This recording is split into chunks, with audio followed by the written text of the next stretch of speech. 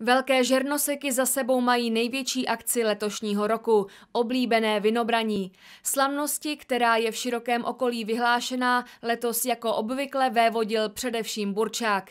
Pochvalovali si ho nejen návštěvníci, ale také vinaři, kteří jsou se sklizní letos opravdu spokojeni, a to navzdory zářijovým dešťům. My jsme docela spokojeni jak s úrodou, tak i s, jako s množstvím, i kvalitou. Bohužel teď ty podzimní ty deště, které přišly teď v tom září, tak to je chyba, jako dost, dost nám to začalo hnít. Konečně na Moravě je to asi ten samý problém jako u nás. Takže my teď budeme končit se sklízní a, a pak začneme další rizlinky, Portugali a tak dále. Jako. Ale jinak jako letošní rok oproti těm třem letům, které byly zpátky, to byla katastrofa. Měli jsme kroupy, měli jsme uh, mrazy jarní, že jo, takže my jsme spokojeni. Jako.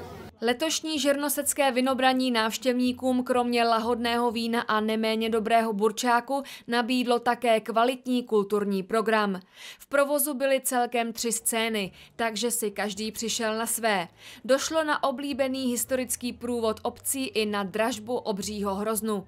Přijela cymbálovka Jošky Šmukaře, country kapela Chřestýši, Jan Vyčítal a jeho Greenhorns i Rostia Pechoušek.